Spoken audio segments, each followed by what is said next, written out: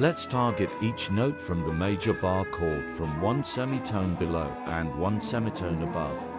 Here is a tab for the full chord, or a major in this case.